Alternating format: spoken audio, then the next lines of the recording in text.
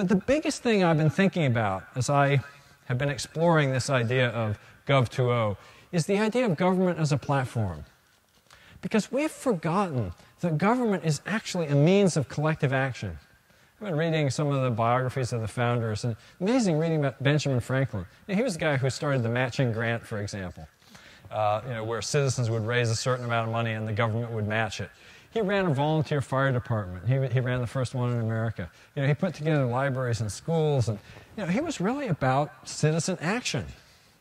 And somehow we got into a different idea, which a guy named uh, Donald Kettl calls vending machine government. You know, we put in our taxes and out come roads and schools and police and fire services. You know, and we think that our job as citizens is perhaps, uh, you know, to, let the spending keep in, increasing. You know, we've gone from, you know, 6% to nearly 40% of GDP at all as uh, uh, the cost of, of all levels of government. But we have to get that collective action means more than collective complaint. You know, we think that collective action means doing a march or signing a petition. You know, this is a little bit like shaking the vending machine. Right? That's not what it's all about. So there's a story that I saw and blogged about back in April that was just a fascinating story that I thought really was the heart of Gov2O.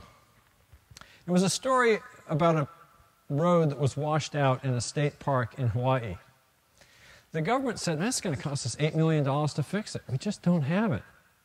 Well, there were a bunch of lo local, locals who said, whoa, this is going to devastate our economy.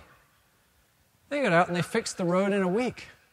You know, they raised some money, they put it together, collective action at work. So I, the blog I did at the time was, was DIY on a civic scale. And uh, Scott Heiferman of Meetup said, no, no, it's not DIY, it's DIO do it ourselves. And of course, wasn't that the original uh, mission of the Free Software Foundation?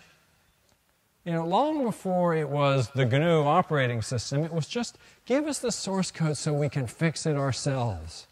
That was where Richard started uh, the whole idea of free software, and I think it's really central. Do it ourselves is the heart of Gov2O. And the platform that we are asking the government to build is a set of tools and services that help us to do it ourselves. And I think as we take our principles of open source and web development and all the wonderful technologies we built, what we really want to help the government rethink is, is how to make it easier for the people to create innovation, to make new things happen, uh, to solve problems without government. The government may be a convener, it may be a provider of leverage, but it's not really the provider of the finished service. And that's a lot of what I'm trying to help them think through. So that's the real lesson of open source and Web 2.0 for government. Give us the tools and we can do it ourselves.